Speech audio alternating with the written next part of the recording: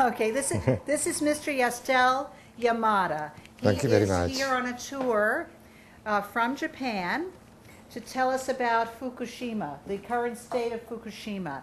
Mr. Yamada formed an organization of 700 scientists and engineers who have volunteered to clean up Fukushima to save the lives and health of younger men and women.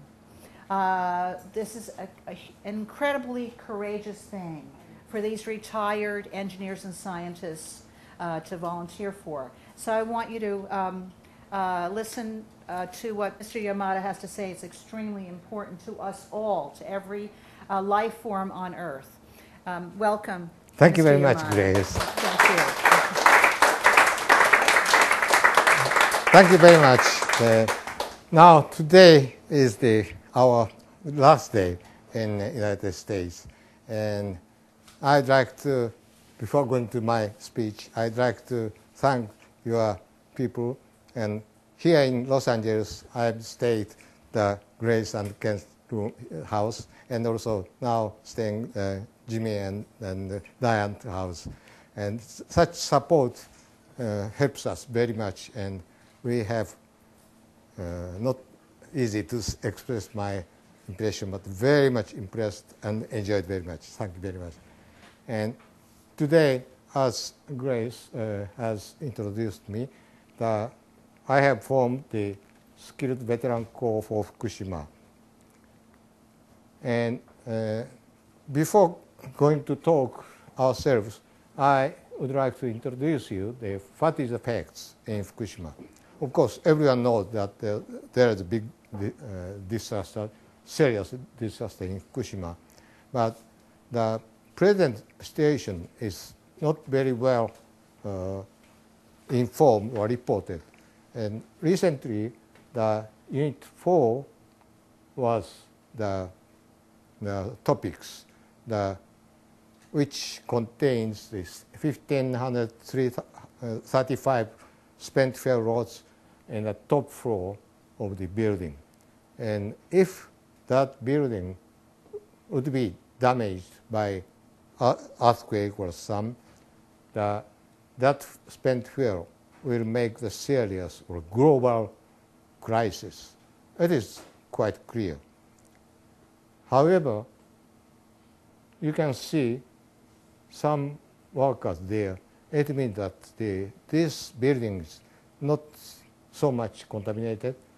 It is the, the workers are able to work at the, at the, within the, the building. And therefore, this building has been already reinforced. And however, this is unit three. This building is much more contaminated than unit four, and no reinforcement work has been done yet. And also, mu- much more problem is there is no plan to reinforce the, this building in the 40 years cleanup project. And especially unit two is highest, most contaminated, and the level is 73 sievert per hour. That such a figure you may not be familiar with that, but seven sievert is the the value which, you, if you have, uh, you accept such radiation, then you will die without ex- exclusion. And this is the sea wall. The height is 50 feet, which is much a little bit higher than the last tsunami, which had has the uh, 40 feet. Therefore, as far as height is concerned, it seems to be sufficient. But still, this is pile of stone, not more, and the the project for the cleanup need 40 years or more, and there is no plan again to install the permanent seawall. And such a pile of stone cannot endure for a long year. And also, it is, this is just a makeshift. It is quite clear for me, for you. Okay, thank you. But also, here in uh, their roadmap for, for 40 years, there is no plan to install the permanent seawall. Furthermore, this picture shows the horses which conduct the cooling water in, for, into unit, units 1, 2, and 3. The fuel in the units should be cooled, cooled until debris, fuel debris would be taken out from the vessel. It will take, say, at least 20 years. And the, such a hose is not allowed the, legally to use in a permanent plant. The reason why is the, such a plastic hose is not reliable, very weak to the weathering, and there is several problem at the connection with the valves and so on. So, therefore, such hoses are only allowed at the very uh, short time accident like firefight site, nothing more. In the plant, permanent plant, it is not allowed. But again, there is no plan to reinstall or replace from the steel pipe. The hose, this hose runs n- those route in the length of two and a half miles. And no one can believe that, that such a hoses will endure for 20, 30 years. With those facts, that we can see that the present work done at the site is just a temporary and makeshift work, but not for long-term project. I'd introduce that this project is taken by Tokyo Electric Power Corporation, TEPCO. We, I, I'm uh, calling them, abbreviating TEPCO.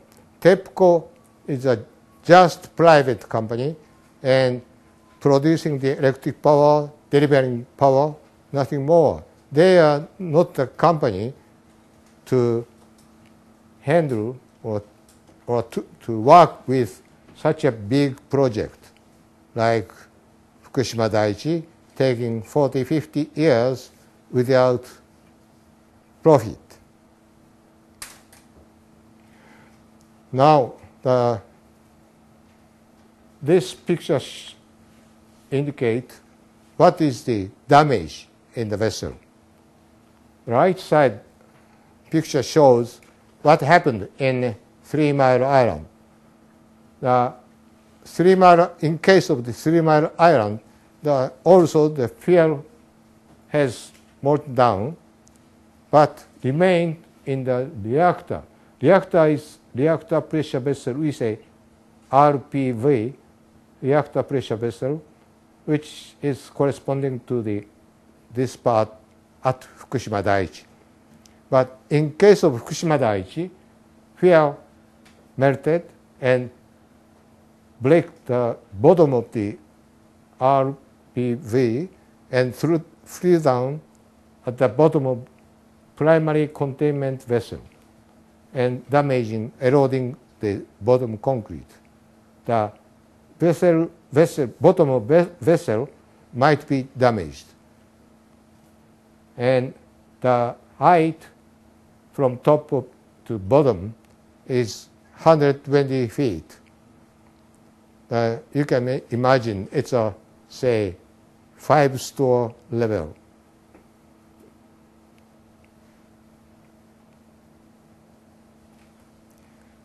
This picture in, shows the idea uh, to remove the spent fuel from the pool.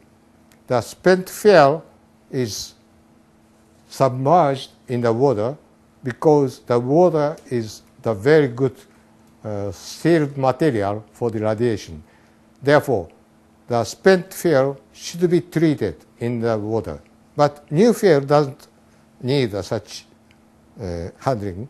The new fuel can be handled in the air because they, have, they don't contain the radioactive materials. But spent fuel contains the huge amount of radioactive materials. Therefore, they should be treated, handled in the water. That is the reason why the, this, if building would be damaged, there would be a serious problem.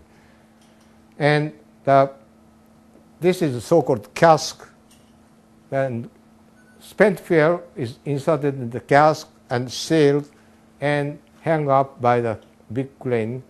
The cask would have the weight of the 1,200 pounds, like that.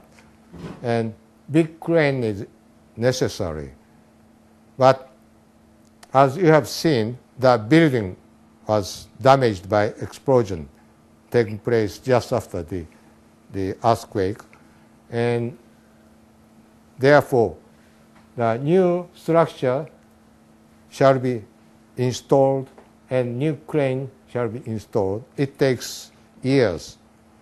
And therefore, the fuel, spent fuel removal is expected to be started in 1914, uh, or two years from now, not immediately. The main people want to remove, take out the spent fuel now, immediately, but it's physically impossible. And there is a big problem, the difficulty there, because the spent, in the spent fuel, there are the lot of the debris of the buildings which has fallen down when the explosion uh, took place. Therefore, the manipulator would be required to be handled or operated by manpower, looking inside of the pool. It means that uh, here the radiation ex- exposure is not avoidable.